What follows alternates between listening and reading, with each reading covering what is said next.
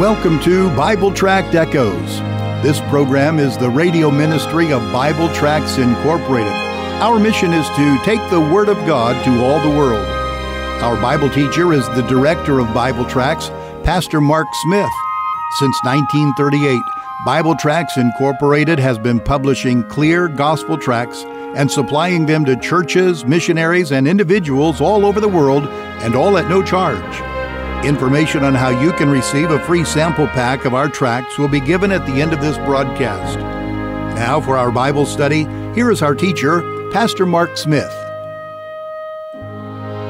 Greetings to you, my friend. What a delight it is to be with you here once again at Bible Tract Echoes. If this happens to be your very first time to listen to the broadcast, I give you a special welcome. Right now, my Bible is sitting open to the book of Second Peter. If you can, reach over get your own copy of God's Word and join me there. Second Peter. I'm going to be reading out of the uh, third chapter, the initial verses there, even though we're just really getting our toes into a verse by verse study of the book of Second Peter.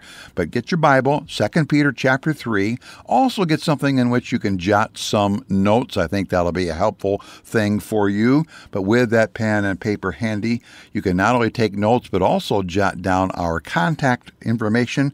I have a free gift, a sample packet of gospel tracts I'd like to give to you, and I'll say more about that here in just a moment. Now, friend, when you and I were children, we all of us at some point in time asked our parents some questions to which their answer was this because I said so. That's why. Well, now I'm a parent, I'm a grandparent, and I'm convinced that there are times when the correct answer really is, simply is, because mom and dad say so. But I also know, you know too, that there comes a time in a child's life as they grow where some clear and reasoned answers need to be given about some of their questions. If I ask the question, why should you and I read the book of Second Peter? The correct answer really could be just this simple. It's the answer is because it's in the Bible and the Bible is God's word and you and I need to know the word of God. Now frankly, that is reason enough, but you and I can give some more reasoned answers to answer that question. You and I can stir up each other to read the book. We can provide some reasons that build, hopefully, some anticipation in our minds and in our hearts and build a desire to want to better understand the book of Second Peter. Now, that's my goal today.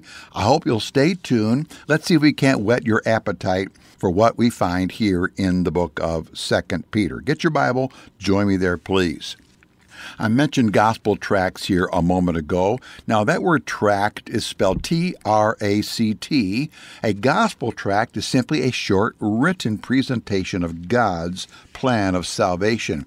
I want to put into your hand a sample packet which contains one each of all of our English gospel tracts. I have one of them in my hand right now, and this one, frankly, is one I use a lot. It's one of my personal favorites. Now, just because it's my personal favorite doesn't make it yours, but this one is entitled The Best I Can the best I can. Now, why I like it so much is number one, the print is a little bigger. Number two, it's so clear, it's so simple. It begins this way A man standing by New York City harbor suddenly declares, I'm going to swim to London, then plunges into the water headed for open sea, and you shout, Hey!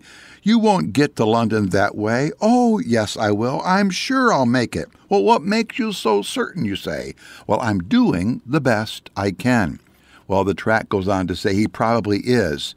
A lot of people think that they're going to get to heaven because, well, I'm doing the best I can, and God will understand.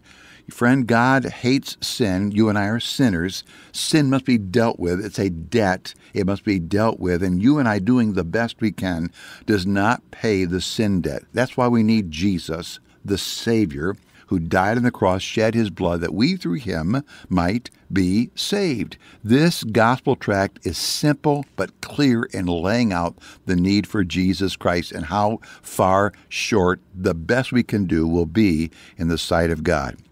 The best I can, just one of the gospel tracts in that sample packet. There's about 42 or so tracts in there. Please let me give you that sample packet. My announcer at the end of the broadcast will give you our contact information. Be ready for that. You can just go to our website, which is BibleTractsInc.org. All right, if your Bible's open to the book of 2 Peter chapter 3, verses 1 and 2 say this. Listen now. This second epistle, beloved, I now write unto you, in both, referring to both 1st and 2nd Peter, in both which I stir up your pure minds by way of remembrance, that ye may be mindful of the words which were spoken before by the holy prophets, and of the commandment of us, the apostles of the Lord and Savior. Stop, please, right there. Now, jumping into chapter 3 here to read at the outset of our study of 2 Peter may seem a little strange, but really it is important. The two verses here tell us why Peter wrote Second Peter. And actually, as we just read there, we find here why he wrote both First and Second Peter. He says here that I'm writing now. Well, let me read part of it. I now write unto you in both, which I stir up your pure minds. Both First and Second Peter were to keep awake, to keep stirred up the minds of the believers. In 1 Peter, the audience there was facing some dangers from outside the church. Non believers were persecuting the believers. But here in 2 Peter, the saints now were facing dangers from inside the church all of the second chapter of this book talks about false teachers that are in the church that were messing things up, perverting correct doctrine, and their perverted teaching was perverting the life practices, the holy living practices by the true saints. So, Peter the Apostle writes to stir up, to awaken the minds of the believers in the book of First Peter again, the saints needed to understand the grace of God that had been provided them so that they could endure persecution in a godly fashion. First Peter ends with these words. Chapter 5 of First Peter verse 12 says, "I have written briefly exhorting and testifying that this is the true grace of God wherein ye stand." In the middle of persecution, true believers can stand. Why? They have grace from God. The saints needed God's grace to stand strong in their trials. But now, here in 2 Peter, the saints still need grace. At the end of 2 Peter chapter 3, we find these words Verse 18 Grow in grace and in the knowledge of our Lord Jesus Christ. In 2 Peter, the Christians needed more truth, more understanding, more knowledge so that they could understand that the false teachers uh, were what they were saying was wrong, was bad, and was doing damage. They needed the grace of God to grasp all that. Uh, let me remind you here of the whole flow of the book of 2 Peter. I say remind you because if you listened to yesterday's broadcast, I did mention this. You need to get three words beginning with the letter R all fixed into your peanut butter brain. Those three words are these right, remember, and ruin.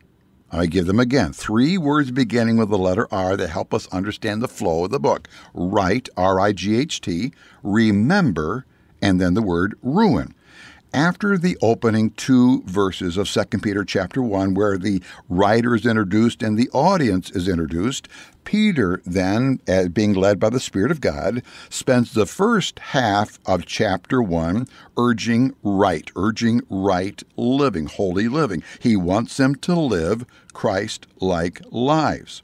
The second half of chapter 1 of there of 2 Peter says he wants them to remember they are supposed to remember the truth he has taught and to remember that they have a sure word of prophecy. They have a Bible that they can trust. Now, that being done, that brings us to 2 Peter chapter 2, and the entire chapter 2 deals with ruined teachers. Ruined teachers. Not only were they, the teachers themselves, ruined in their lives, but the things that they taught were ruining others. Because of the false teaching, some people that were true believers, actual born again believers, began to live messed up lives. They weren't not living holy lives. But what was even worse, some non believers were not hearing the gospel of salvation because the false teachers were teaching a false gospel. But guess what? When we come to chapter 3 of the book, this leads us right back to the first two R words. Chapter 3 opens with a call to remember what had been taught, and the chapter 3 ends with another challenge to right living. So we've got right living leading to remember, leading to ruined leaders. Coming out of that, we come back to remember and then to right living there's a great question that's asked right near the end of 2 Peter. It's found in chapter 3, verse 11. Here's what it says Seeing then that all these things shall be dissolved, what manner of persons, or put in up to date language, what kind of people ought ye to be in all holy conversation and godliness? That's a sobering question, isn't it? The truth that's found here in 2 Peter has not been given to us. It wasn't given to the original readers nor to us today. It wasn't given so that you cannot and I could be better prepared for a Bible trivia game. It's amazing how many people, perhaps they grew up in Sunday school and so on, perhaps they teach Sunday school, perhaps they even preach the gospel sometimes. We're good at Bible trivia, but we're not so good at holy living. You see, when we get to heaven, the issue is do we live like Jesus? Not how much we know, but how much we practice about what we know. That's why 2 Peter was given. Beloved, if the salvation in Jesus Christ that you say you received, if that salvation is not leading you to holiness in your day to day life, then very likely you were offered a perverted gospel. You were offered something less than the true gospel. You were offered something that does not cleanse your soul from sin. Jesus came to free you and me from sin sin. He offers freedom from sin to any and to all who will repent of their sin and turn to Jesus Christ by faith and make him their hope uh, for eternal life. Christ came to free us from sin. First of all, to free us from sin's condemnation in our soul. He came to remove the sin stain off of our soul. But secondly, Christ came to free us from the control of sin over our soul, over our daily life. You and I are called to live holy lives. That comes out clear and strong. Let me ask the question of you here. If you were to die today, do you know for sure, I mean absolutely 100% sure, you'd go to heaven? If you say yes, I ask you why. Upon what basis do you have your assurance? If you say, well, I'm doing the best I can, then the best you can is going to fail you because the best you can do is going to fall short. If you want to get to heaven, you got to be perfect. But all have sinned and fallen short of the glory of God. That's why you need a Savior who can offer you salvation on His terms as a gift. You need to receive Jesus today. Thank you for joining us today for Bible Tract Echoes.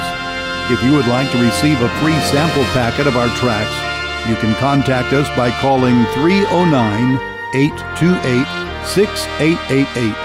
Our mailing address is Bible Tracts, P.O. Box 188, Bloomington, Illinois 61702. Again, our phone number is 309 828 6888 and our mailing address is P.O. Box 188, Bloomington, Illinois 61702. You can also contact us through our website. Our web address is BibleTractsInc.org. Remember, the word tracts is spelled T R A C T S. That address is BibleTractsInc.org. May the Lord richly bless you as you serve Him.